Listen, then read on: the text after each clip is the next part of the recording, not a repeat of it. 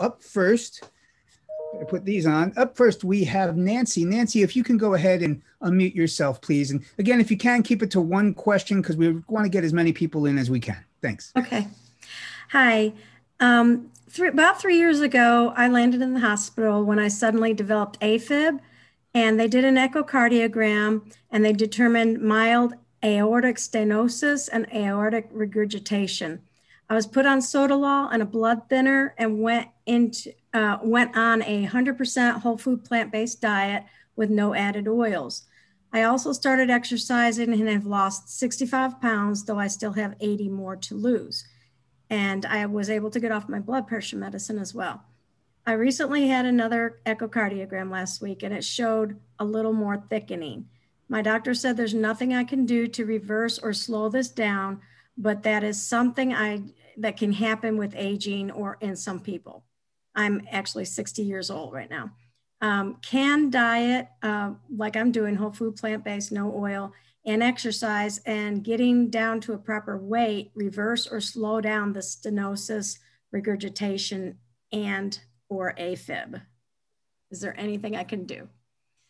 Um, so, first disclaimer is that when we're doing a public symposium, we never want to give specific medical advice to people. So, um, just throwing at that because you actually didn't cross the line. You're actually asking about the disease rather than about you. So, I'm happy to try to address that. Well said. Um, and in general, um, when you think about, uh, you mentioned weight. It turns out that the cardiac output so much uh, is, I mean, your heart is working to feed your body. If you had uh, a smaller body, like you were saying, you want to lose another 80 pounds, uh, that would actually decrease the amount of workload that your heart has to do. And so it would decrease the flow across that valve because it's the flow that is actually causing the deterioration. And once it starts deteriorating, it can continue. Uh, the one thing that has been associated with an, uh, a slightly improved outcome, but not vigorously improved, was statins. That would imply that plant-based diet could lower cholesterol and lower the um, the amount of you know hardening of that valve.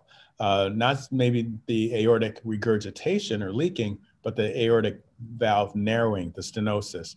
It turns out that uh, if you look at it under a microscope, it looks just like coronary plaque. That it looks almost identical. Uh, that is, you're developing what looks like plaque on that valve, and that's what's causing the pro- progressive narrowing.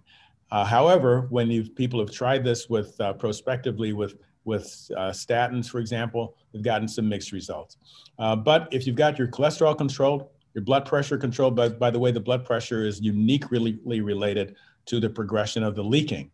So I'd say um, cholesterol for the for the narrowing and blood pressure for the leaking, and trying to decrease how much the valve has to do, and that you do by getting down to ideal body weight. Thanks, Dr. Williams. Up next, we have Sophia. Sophia, if you can unmute yourself, please. Hi, doctor. Thank you so much. My question is about arrhythmia, please. What would help as supplements? I take uh, magnesium and I don't want to overdo it. So, what else would help? I'm vegan too. I'm sorry, I said magnesium for anemia? For uh, yeah, please.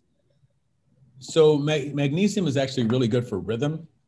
Um, so I'll, I will uh, answer that one. Anemia is not so much of a cardiology thing. In fact, um, uh, more anemic people, unless you get really, really bad, it lowers the viscosity. It makes the, the work easier on the heart until you get to a point where it's having trouble with oxygen, then it's not so good. Um, but I would say that magnesium is really important for uh, people who have rhythm disturbances. Some of them, particularly from the lower chamber or ventricular rhythm disturbances, do much better if they're taking a magnesium supplement. Um, most of the iron uh, supplements are that you that you can get over the counter are not the oxidized iron, and those are helpful for uh, particular types of anemia. But you really, anemia is something that you really should be um, getting evaluated by a physician, particularly if the hemoglobin is uh, spectacularly low, more less than seven grams. It really needs to be evaluated and managed carefully. Thanks, Doctor. Up next, we have Rita. Rita, if you can go ahead and unmute yourself, please.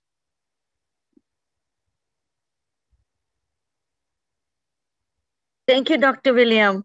Uh, we met in New York City at the World Vegan Vision Conference and also at the Real Truth About Health Conference Hi. in Long Island.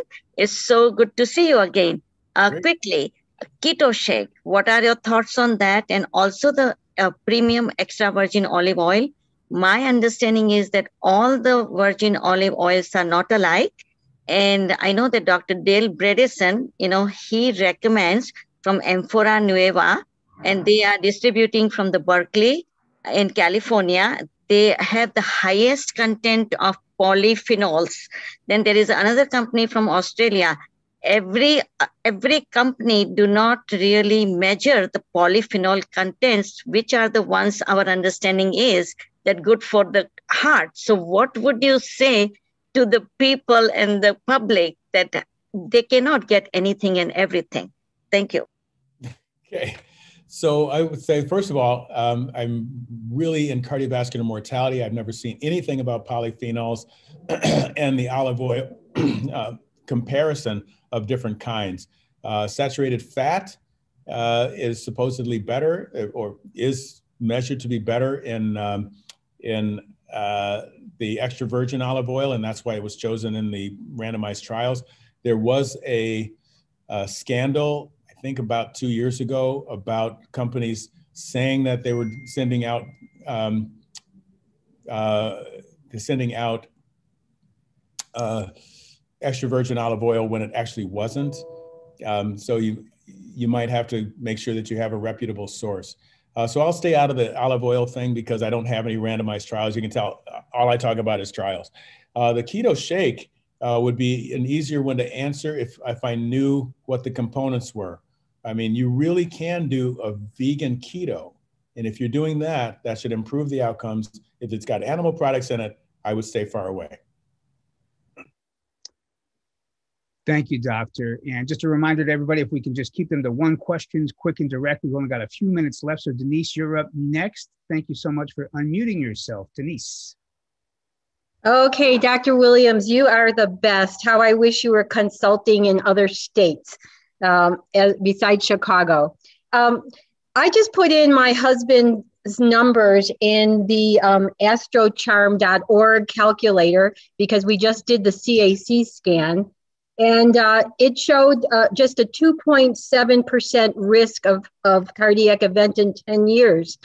Uh, but the, his CAC score of 93 was in the Widowmaker.